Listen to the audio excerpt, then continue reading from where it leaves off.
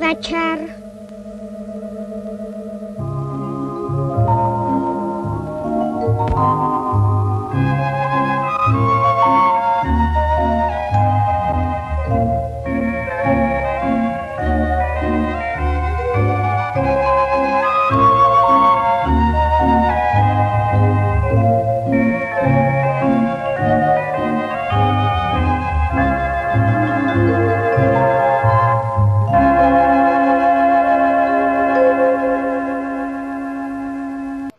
Radomil Bady z Ústí nad Labem, 15 let nezaměstnaný, místo prýschání usilovně. Pracovat rozhodně chce. Kdyby byla ta práce, tak já radši tu práci než tu podporu. Věřte tomu fakt.